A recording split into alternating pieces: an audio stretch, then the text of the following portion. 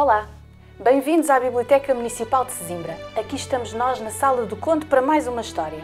Mas a história de hoje eu tenho que vos dizer, mete um bocadinho de medo. Pelo menos a mim mete.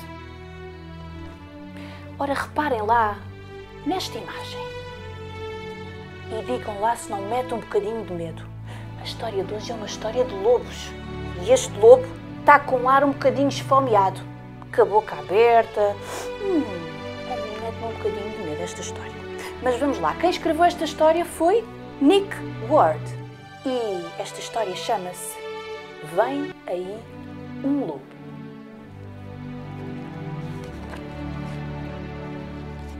Estava uma linda manhã.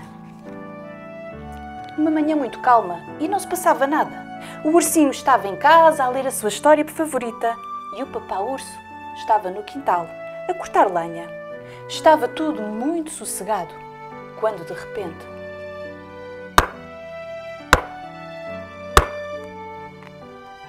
bateram à porta. O ursinho levantou-se muito rapidamente e perguntou: Quem é?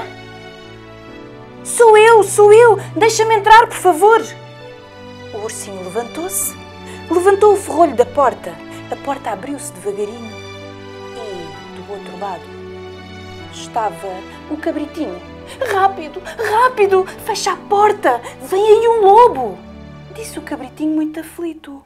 E ele apareceu lá em cima e disse: Aparece ou eu vou aí buscar-te. Ai, ele estava lá em cima na montanha. Eu vi-lhe a sombra. Era enorme e grande e negra. Parecia assim um bocadinho magrinho o lobo, mas parecia muito mau. Por isso é que eu corri. Eu corri tanto, tanto, tanto e vim bater à tua porta. Deixa-me entrar, ursinho. O ursinho disse ao amigo para não se preocupar. Mandou-o entrar e disse para se sentar. Aqui estás seguro. Eu vou-te contar uma história. E assim foi. O cabritinho sentou-se na poltrona, o ursinho foi buscar a história favorita e começou a contar-lhe quando, de repente,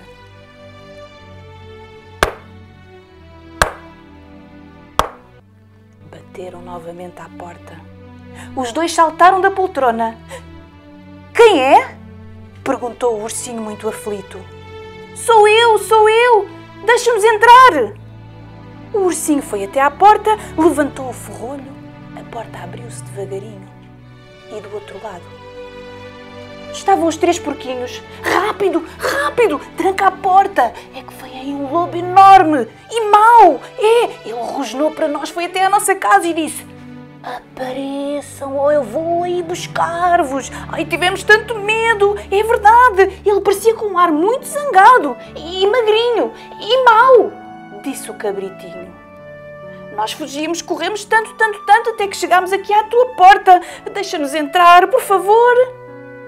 O ursinho lá mandou os três porquinhos entrarem, que foram ter com o cabritinho que estava sentado na poltrona e ficaram todos ali.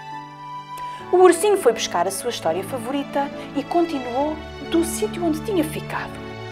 E estava o ambiente a ficar mais calmo quando de repente.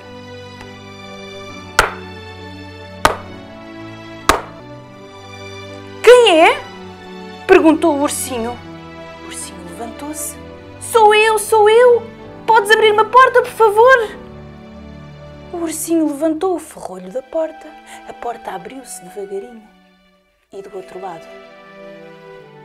Do outro lado estava a pastorinha e as suas ovelhas. Tranca a porta! Rápido, rápido! Vem um lobo! É, vem um lobo! disse a pastorinha. As ovelhas entraram numa rajada pela porta dentro. Quase que deitavam tudo abaixo. Oh, meu Deus! Ouvi um lobo ranger assim com a vedação quase a cair e a sua cauda farfalhuda e depois ele rugiu para nós e disse Vem ou eu vou aí buscar-vos. E tivemos tanto medo, fugimos a sete pés, sentíamos o seu bafo quente assim mesmo por trás de nós. Ai, tivemos tanto medo, ele é tão grande e parece estar zangado, disseram os porquinhos. É, e é magrinho e mau, acrescentou o cabritinho.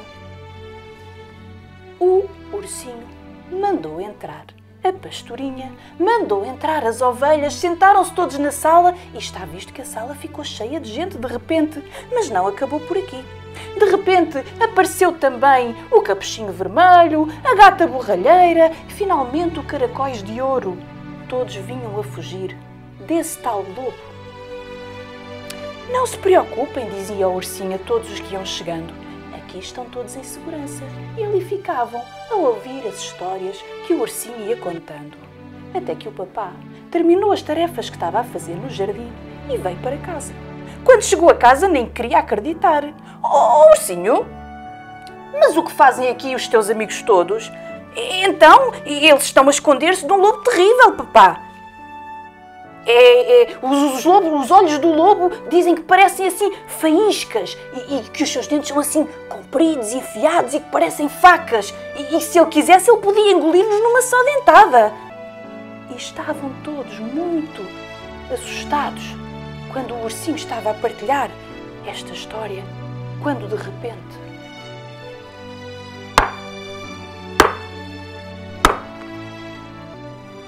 Bateram à porta. Ficaram todos muito quietos em silêncio.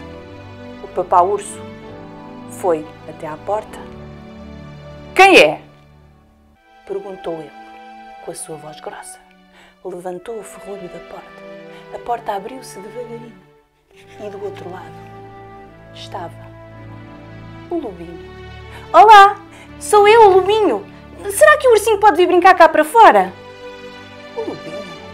Afinal, o lobo que todos falavam não era assim tão grande? Não era assim tão assustador?